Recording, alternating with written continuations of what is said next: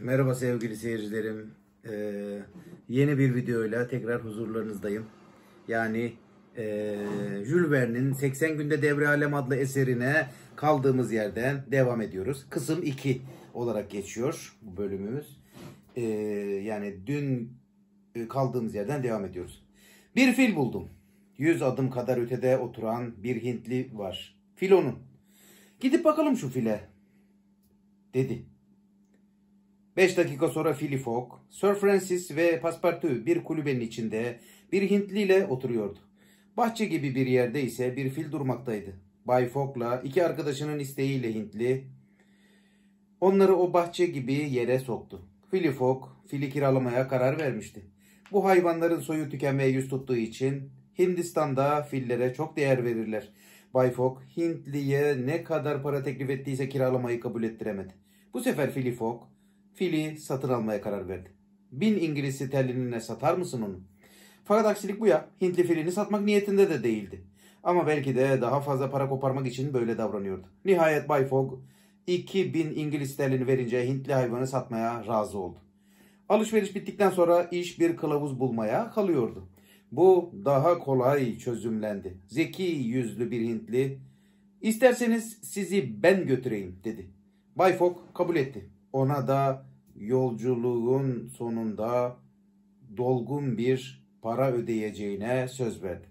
Adam filin üzerine bir örtü yaydı. Sonra hayvanın sırtına iki yanı küfeli bir semer geçirdi. Bunlar yolculuk için hiç de elverişli değildi. Ama yapılacak fazla bir şey de yoktu. Küfelerin birine Sir Francis, diğerine de Philly Fogg bindi. Paspartu da örtünün üzerinde efendisiyle generalin arasına oturarak bacaklarını filin sırtının iki yanından aşağıya sarkıttı. Yerli kılavuz ise filin boynuna tırmandı ve saat 9'da köyden ayrılarak kestirme olsun diye hurma ağaçlarından oluşan bir ormana daldı. Kılavuz hep kestirmeden gidiyor, yerlilerden uzak durmaya çalışıyordu. Geceyi bir evde geçirdiler. Sabah 6'da tekrar yola çıktılar. Kılavuz o akşam Allahabad istasyonuna varacağını umuyordu. Yolculuk olaysız geçiyordu. Fil akşama doğru korku belirtiler göstererek birdenbire duruverdi. Saat dörttü. Ormandan bir takım gürültüler geliyordu. Kılavuz yolcuları indirip fili bir ağaca bağladı ve gürültünün nereden geldiğine bakmaya gitti. Birkaç dakika sonra da geri geldi. Brahmanlar toplu halde bu tarafa doğru geliyor, geliyorlar dedi. Ne yapıp etsek de onların gözüne gözükmesek. Sonra fili bir fundalığın içine gizledi. Yolcular da ağaçlara çıktı. Çalgı sesleriyle insan çığlıkları gittikçe yaklaşıyor. Şarkılar, davul ve zil sesleri birbirine karışıyordu. Çok geçmeden alayın baş tarafı ağaçların altından gözüktü. Ağaçtan bunları rahatlıkla görebiliyorlardı. En önde rahipler vardı. Bunların etrafını bir sürü kadın, erkek ve çocuk almıştı. Ölüler için söylenen dualardan birini hep bir ağızdan mırıldanıyorlardı. Yerliler acayip bir şekilde boyanmışlardı. Arabanın her tarafını yılanlarla süslemişler. Üstüne de korkunç ve çirkin bir heykel oturtmuşlardı. Arabayı iki çift örgüçlü yaban öküzü çekmekteydi. Bu heykel kafası kesik bir devin üstünde ayakta durmaktaydı. Ee, kılavuz Tanrıça Kali aşk ve ölüm tanrıçasıdır bu dedi. Paspartu ölüm tanrıçası olmasına aklım erer ama e aynı zamanda aşk tanrıçası oluşuna hayır dedi. Böyle suratsız bir kadın aşk tanrıçası olur mu hiç? Yerli paspartuya sus diye işaret etti. Yerliler heykelin etrafında çeşitli hareketler yaparak dans ediyorlardı. Onların peşi sırada birkaç tane Brahman kadını geliyordu. Bunlar en güzel elbiselerini giymişlerdi. Yanlarında ayakta duracak gücü olmayan bir kadını sürüklüyorlardı. Bu kadın gençti. Bir Avrupalı gibi beyaz tenliydi. Boynu, kolları bir sürü mücevherle süslüydü. Üzerindeki ince bir tülle örtülü altın pullu bir entarenin kıvrımları arasından vücut hatları iyice belli oluyordu. Bu genç kadının arkasından muhafızlar gelmekteydi. İyice silahlanmışlar ve omuzlarındaki tahtrevanda bir ceset taşımaktaydılar. Bir ihtiyarın ölüsüydü bu. Sanki hala hayattaymış gibi bu ölüyü güzelce giyindirmişlerdi. Bunların arkasından da kendinden geçmiş bir sürü din adamı geliyordu. Sir Francis bütün gürültü patırtının geldiği yere acayip ve kederli bir tavırla bakıyordu. Kılavuza dönerek insan kurban edilen bir tören bu değil mi diye sordu. Kılavuz evet anlamına gelen bir işaret yaptıktan sonra Parmağını dudaklarına götürdü. Alay ağır ağır ağaçların arasından geçip gitti. Sonra ormanın derinliklerinde sesleriyle birlikte kayboldu. Philip Sir Francis'in söylediği bu kurban sözcüğünü işitmişti. Alay geçip gittikten sonra sordu. Neymiş bu tören? Tuğ General cevap verdi. Bay Fogg, bunun insanların kurban edildiği bir tören olduğu doğru. Ama kurban zorla değil, isteğiyle katılır. Şu demin gördüğünüz genç ve güzel kadın var ya, yarın şafakla beraber onu diri diri yakacaklar. Peki o ölü ne oluyor öyle? Bu sefer kılavuz cevap verdi. Ölü kadının kocası olan prens. Bu adam Bundel Kung'da bağımsız bir racadır. Filifok en ufak bir heyecan belirtisi göstermeden sordu. Nasıl oluyor da böyle vahşice gelenekler buralarda hala yaşayabiliyor? İngilizler neden kaldıramadılar bunları? Sir Francis, artık Hindistan'ın birçok yerinde insan kurban edilmiyor böyle. Ama biz bu bölgelere, hele bu Bundelkund bölgesine hiç söz geçiremiyoruz. Vindhya dağlarının bütün kuzey yamaçlarında boyuna adamlar öldürülür, yağmalar yapılır. Paspartu da, vah zavallı kadın, diri diri yakacaklar onu ha diye mırıldanıyordu. Zaten yık- yakılmazsa akrabaları ona hayatı zindan ederler.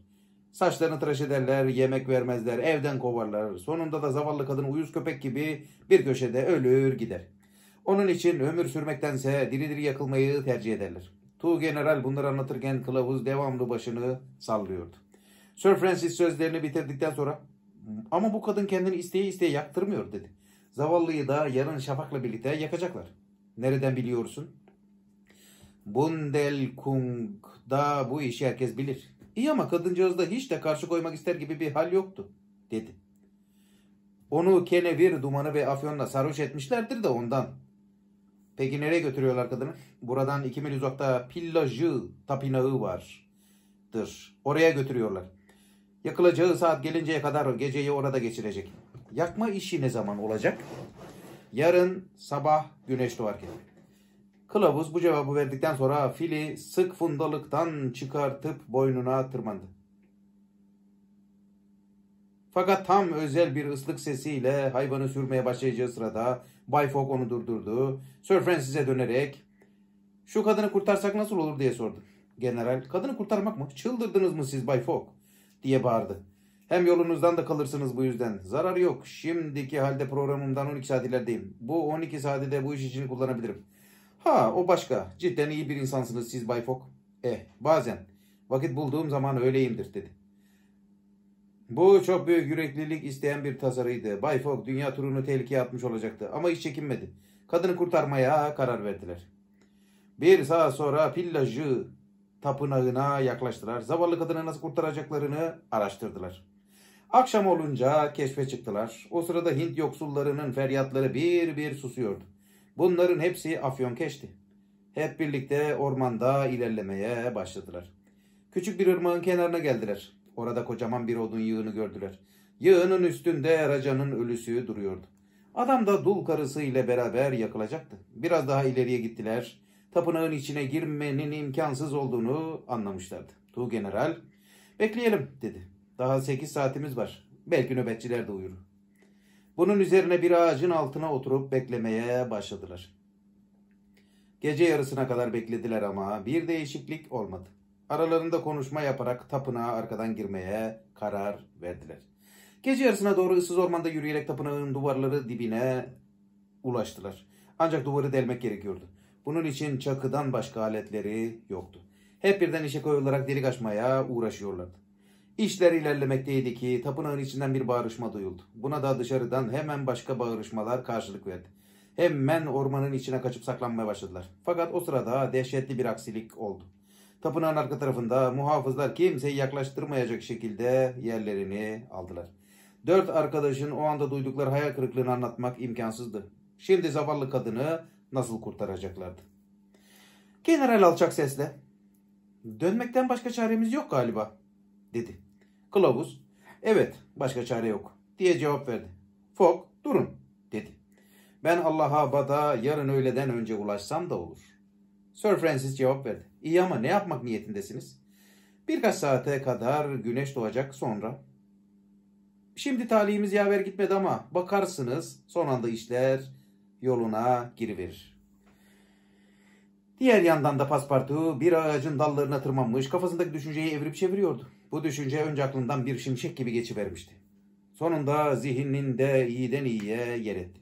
Önce kendi kendine delilik olur bu diye söylenmişti. Şimdi ise neden olmasın diyordu. Binde bir de olsa yine bir şanstır bu denemeye değer. Sonra bu herifler öyle aptal şeyler ki. Sonra kafasındaki şeyin ne olduğunu fazla düşünmedi bile. Çok geçmeden ağacın alt dalları üzerinden çevik hareketlerle yılan gibi kaymaya başladı. Dallar yere doğru eğilmişti. Eskiden cambazhanelerde çalışmış, itfaiyecilik yapmış, ayrıca jimnastikle de uğraşmış olduğundan paspartü bu işi büyük bir kolaylıkla yapıyordu. Saat ilerliyordu. Zaman gelmişti. Yerlere serilip uyumakta olan bütün insanlar dirilen ölüler gibi kımıldanmaya başladılar. Sağda solda birkaç kişi ayağa kalkmıştı bile. O sırada tam tam sesleri duyuldu. Demek ki zavallı genç kadının ölüm saati gelmişti artık. Tam o sırada tapınağın kapıları açıldı ve içeriden dışarıya daha kuvvetli bir aydınlık vurdu. Bay Fogg'la Sir Francis bu çiğ ışığın içinde bir çare kurbanı gördüler. İki rahip zavallıyı kollarından tutmuş dışarıya sürüklüyordu. Hatta onlara öyle geldi ki kadıncağız son bir gayretle canını kurtarmaya uğraşmakta, Afyon'un sarhoşluğunu dağıtıp cellatlarının elinden kurtulmak için çabalamaktaydı. Sir Francis'in yüreği birden hoppetti. Çırpınır gibi bir hareketle Filifok'un elinden yakaladı. O sırada arkadaşının elinde bir bıçak tutmakta olduğunu gördü. Diğer yandan kalabalık da harekete geçmişti. Kenevir dumanları yüzünden genç kadın yine uyuşuk bir hale düşmüş bulunuyordu. Hint yoksullarının arasından geçerken bunlar inançlarının etkisiyle bağırışıp çağrışıyorlardı. Filifok'la arkadaşları kalabalığın son sıralarında karışarak onunla beraber ilerlediler. İki dakika sonra ırmağın kenarına varmışlar. Odun yığınından 50 adım kadar uzakta durmuşlardı. Raca'nın ölüsü hala odunların üstünde yatmaktaydı. Alacakaranlıkta genç kadını da seçebildiler. Zavallı artık hiç kımıldamıyordu. Onu da kocasının yanına uzatmışlardı. Sonra birisi bir meşaleyi odun yığınına yaklaştırdı. Odunlar zaten yağ içinde olduğu için hemen alev aldı. O sırada Fogg delice bir cesaret göstererek odun yığınına doğru fırlamak istedi ama Sir Francis ile kılavuz onu güçlükle tuttular. Fogg, fakat Fogg onları itip ellerinden kurtulmuştu ki sahne birden değişiverdi. Korku dolu bir feryat yükseldiği bütün kalabalık dehşet içinde yere kapandı. İhtiyar Raja galiba ölmemiş olacaktı. Çünkü onun birden tıpkı bir hortlak gibi doğrulduğu, genç kadını kollarına alıp yattığı yerden indiği görüldü. Dumanlar, buharlar ona hayalet gibi bir görünüm vermekteydi. Yoksullar, muhafızlar, rahipler birden korkuya kapılmışlar, yere kapanmaktan başka yapacak bir şeye bulamamışlardı. Hiçbiri başını kaldırıp böyle bir mucizeye bakmaya cesaret edemiyordu. Zavallı kadın ise baygın bir haldeydi. Hiç kımıldamıyordu. Kendisini taşıyan kuvvetli kolların arasına giriverdi. Sanki tüy gibi hafifti. Bay Fogg'la Sir Francis yere kapanmıştı. Onlar ha ayakta duruyorlar. Kılavuz ise başını eğiyordu. Dirilen adam böylece kadın kucağında olduğu halde yürüyerek Bay Fogg'la Sir Francis'in durdukları yere kadar geldi. Sonra sert bir sesle onlara hemen sıvışalım dedi. Koyu dumanların ortasında odun yığınına kadar sokulmuş olan kişi paspartudan başka biri değildi. Cesur uşak ortalığın henüz karanlık olmasından yararlanarak genç kadını ölümden kurtarmıştı. Sonra rolünü çok cüretli bir şekilde oynamış, üstelik tarihi de yaver gitmiş ve genç kadını kucakladığı gibi korkudan yerlere kapanan kalabalığın arasından geçirivermişti. Biraz sonra dördü birden ormanın içinde kayboldular. Fil de yine hızlı adımlarla onları götürmeye başladı. Fakat Hintliler dönen dalaverenin farkına varmışlardı. Çünkü yeniden bağırışmalar, feryatlar duyuldu. Hatta bir kurşun vızlayarak gelip Filifok'un şapkasına bile değdi. Gerçekten de alev alan odun yığınının üzerinde yalnız ihtiyar Raja'nın cesedi görülmekteydi. İlk korkuları geçince rahipler genç kadının kaçırıldığını anlamışlardı. Bunun üzerine rahipler arkalarında muhafızlarla hemen ormana dalmışlardı. Fakat kadını kaçıranlar çoktan oradan uzaklaşmışlardı bile. Kaçırma işi başarıyla sona ermişti. Sir Francis Paspartu'yu tebrik etmiş, efendisi ise sadece aferin demekle yetinmişti. Ama bu söz onun ağzından çıkan derin bir beğenme ve övgü, bel övgü belirtisiydi. Genç kadına gelince olup bitenlerin farkına bile varmamıştı. Filin sırtındaki küfelerden birinde uyumaktaydı. Kılavuz fili çok büyük bir ustalıkla sürmekteydi. Saat 7'de durup mola verdiler. General Philly Fock'a şunları söyledi. Bayan Auda Hindistan'da kalırsa er geç yine o cellatların eline düşer. Bu adamlar bütün ülkeye yayılmış durumdadırlar. İngiliz polisini hiçe sayarak kurbanlarını Madras'ta, Bombay'da, Kalküta'da nerede olursa olsun ele geçirmenin bir yolunu bulurlar. Generale göre genç kadının güvenliği ancak Hindistan dışında sağlanabilirdi. Bu da onu ülke dışına çıkarmakla mümkün olabilecekti. Söylediklerinizi göz önünde tutar, gereğini yaparım. Merak etmeyin general, dedi Filifok. Saat 10'a doğru kılavuz Allahabad istasyonuna yaklaştıklarını haber verdi. Filifok hemen ertesi gün yani 25 Ekim'de öğleyin Hong Kong'a kalkacak olan vapura yetişmek zorundaydı. Bu yüzden Kalküta'ya da vaktinde ulaşması gerekiyordu. Bayan Auda'yı istasyonda bir odaya bıraktılar. Genç kadına birkaç tuvalet eşyası ile giyim eşyası satın alma işi için geniş bir kredi açmıştı. Uşak hemen yola çıktı. Allahabad sokaklarında dolaşmaya başladı. Allahabad Tanrı şehri demektir. Burası Hindistan'ın en kutsal şehirlerinden biridir. Çünkü iki kutsal nehrin yani Ganj ve Jumma'nın birleştikleri noktada kurulmuştur. Paspartu alışveriş yaparken bir yandan da şehri görmek imkanını buldu. Bayan Auda kendine gelmeye başlamıştı. Rahiplerin üzerinde yarattıkları etki ve afyonla kenevir dumanlarının verdiği sarhoşluk yavaş yavaş azalmaktaydı. Tren biraz sonra Allahabad istasyonundan ayrılacaktı. Kılavuz bekliyordu. Bay Fogg onun ücretini anlaştıkları fiyat üzerinden ödedi. Bir kuruş bile fazla vermedi. Bu da Paspartu'nun biraz garibine gitti. Çünkü efendisinin bu kadar bu fedakar kılavuza çok şey borçlu olduğunu pek iyi biliyordu. Sonra fil meselesi vardı. Bu kadar yüksek fiyata alınmış bir fili ne yapacaklardı? Fakat Philly Fogg bu konuda kararını vermişti bile. Kılavuza döndü. Görevini iyi başardın doğrusu dedi. Gördüğün hizmetin bedelini ödedim ama gösterdiğin fedakarlığın karşılığını ödemedim. Şu fil var ya al onu senin olsun. Kılavuzun gözleri sevinçle parladı. İyi ama efendim bu fili vermekle bana büyük bir servet bağışlıyorsunuz dedi. Bay Fogg sen dediğime bak bu fili al dedi. Ben sana bu hesapla borçlu bile kalırım. Paspartu. Ha şöyle şimdi yoluna girdi diye bağırdı. Al arkadaş al bakalım. Bu fil yiğit cesur bir hayvanmış doğrusu. Biraz sonra Fogg, Sir Francis ve Paspartu rahat bir vagona yerleşmişlerdi. Bayan Auda ise kompartımanın en rahat köşesinde oturuyordu. Tren var hızıyla Benares'e doğru yol almaktaydı. Bu şehir Allahabad'dan 80 mil kadar uzaktaydı. Tren bu uzaklığı 2 saatte aşıverdi. Yol boyunca genç kadın tamamen kendine geldi. Kompartımanda hiç tanımadığı insanlar arasında Avrupalı elbiseler giymiş olarak oturduğunu görünce pek şaşırdı. Yol arkadaşları önce onunla meşgul oldular. Sonra da general Fogg'un gösterdiği fedakarlığı, Paspartu'nun cüretli buluşunu anlattı. Bay Fogg anlatılanları hiç ses çıkarmadan dinledi. Paspartu ise utancından kıpkırmızı olmuştu. Bayan Auda kurtarıcılarına söz söyleyerek değil de sevinç gözyaşları dökerek candan teşekkür etti. Hint toprağına yeniden gözü ilişince zavallı kadın korkudan tir tir titremeye başladı. Fogg, Bayan Auda'nın zihninden geçenleri anladı. Genç kadını ferahlatmak için her zamanki gibi kılını kıpırdatmadan İsterseniz sizi de Hong Kong'a götürürüm. Bu iş kapanıncaya kadar orada kalırsınız. Olmaz mı? dedi. Bayan Auda bu teklifi sevinçle kabul etti. Saat yarımda tren Benare istasyonunda durdu. Sir Francis arkadaşlarından burada ayrılacaktı. Onun için generalle Philly Fogg burada vedalaştı. Ona başarı diledi. Bay Fogg arkadaşının elini hafifçe sıktı. Bayan Auda ise generale daha dostça veda etti. Benim için yaptıklarınızı hiçbir zaman unutmayacağım dedi. Paspartu'ya gelince general delikanlının elini sevgiyle sıktı. İkisi de heyecanlıydılar. Sonra ayrıldılar. Benares'ten sonra demiryolunun bir kolu Ganj Vadisi'nden geçiyordu. Havada oldukça berraktı. Sonra gece oldu. Tren bütün hızıyla ilerlemeye devam etti. Nihayet sabahleyin saat 8'de Kalküta'ya vardılar. Hong Kong'a gidecek olan vapur öğle üzeri kalkacaktı. Buna göre Philly Fogg'un 5 saatlik vakti vardı. Programa göre ne ileride ne de gerideydi. Londra ve Bombay arasında kazanmış olduğu iki günü Hint Yarımadası'nı açtığı sırada bilinen koşullar içinde yitirmişti. Ama görünüşe göre Philly bu yüzden üzülmüşe benzemiyordu.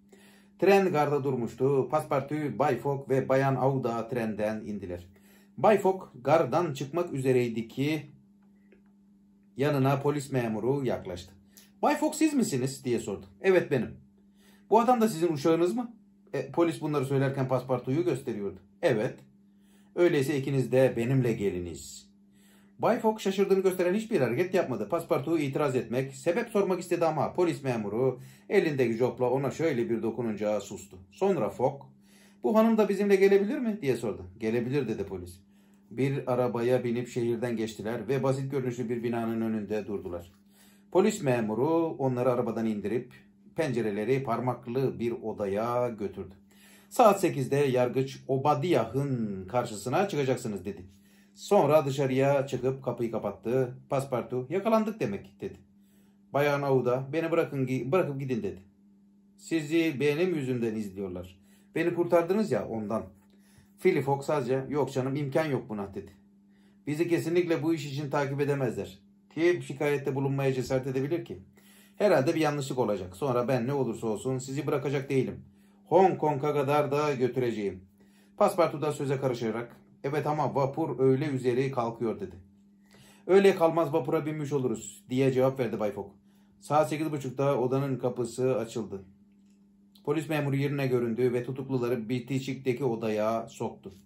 Burası bir mahkeme salonuydu. Dinleyicilere ayrılan yerlerde Avrupalılardan ve yerlilerden oluşan bir kalabalık görülüyordu.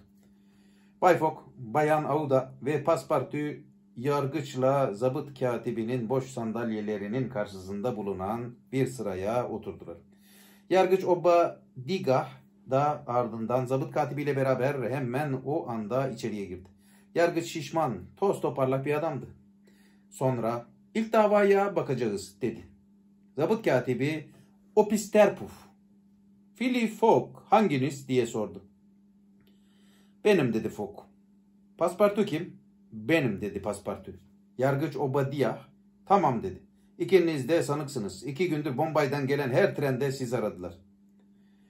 Paspartu'nun sabrı tükenmeye başlamıştı. Peki ama suçumuz neymiş?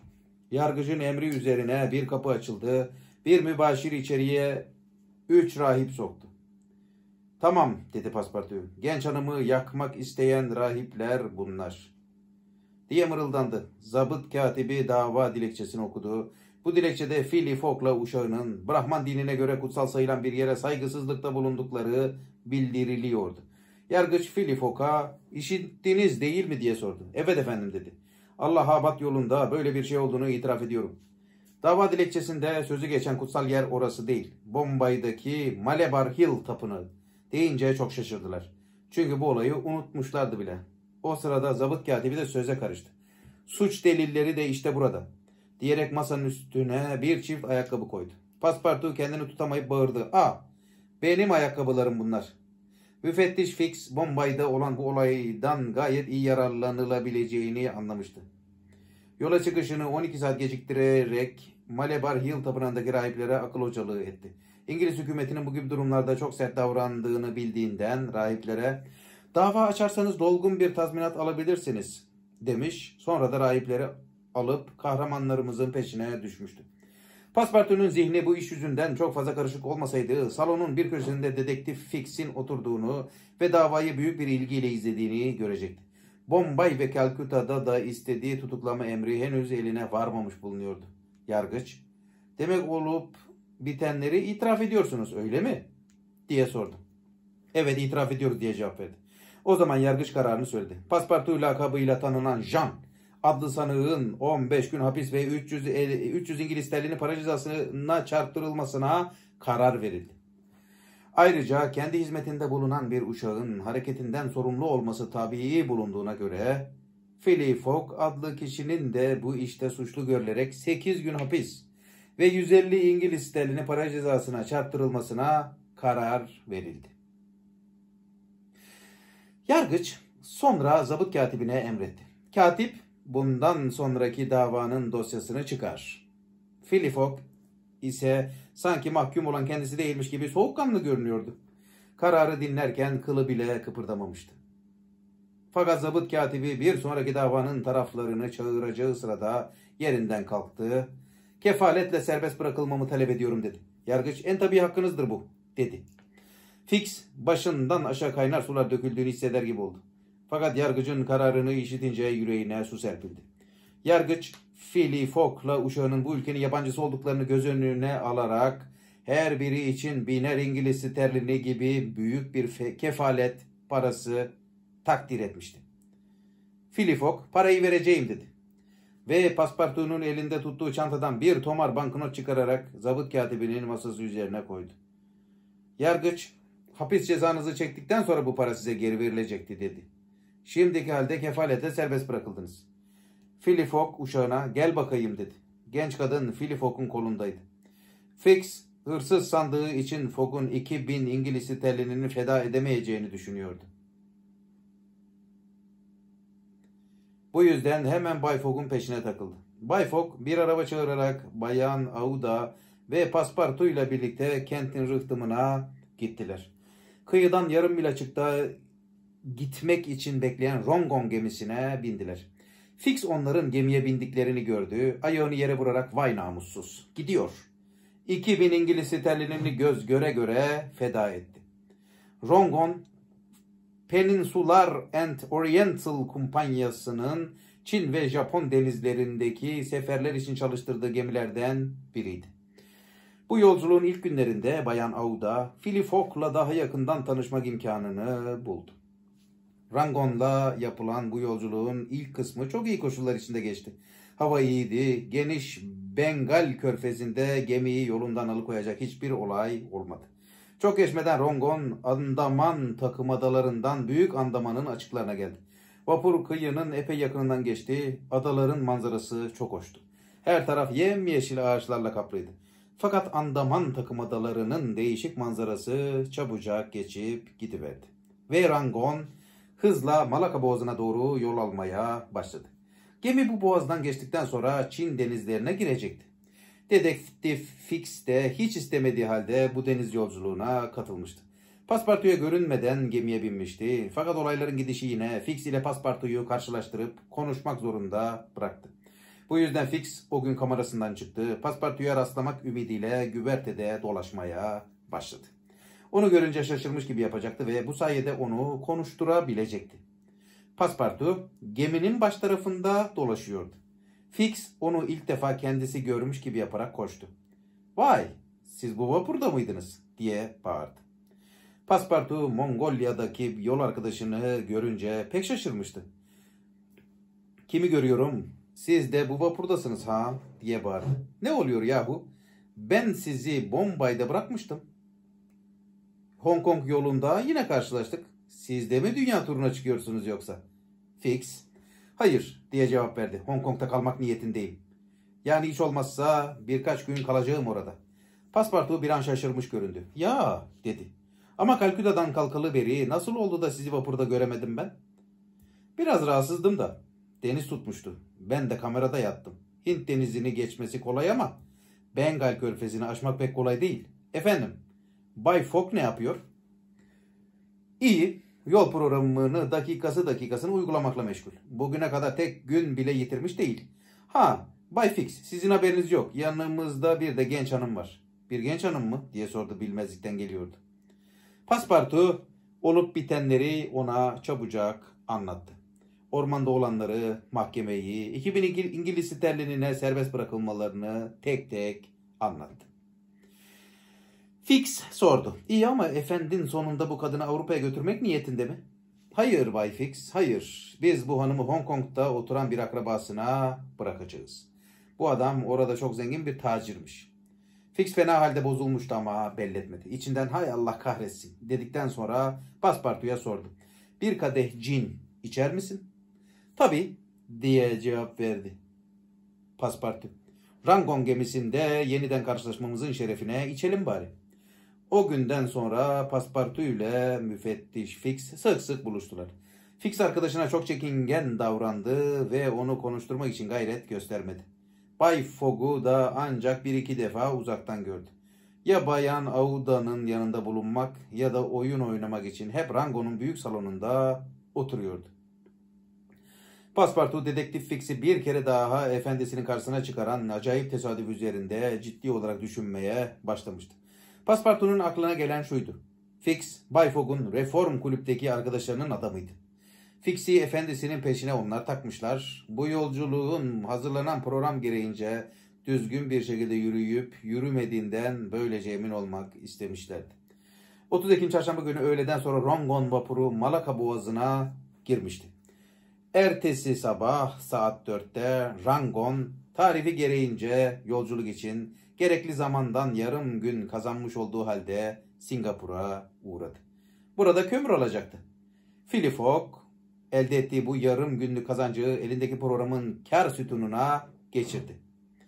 Fakat bu sefer Bayan Auda ile birlikte karaya çıktı. Çünkü genç kadın birkaç saat gezinmek istemişti.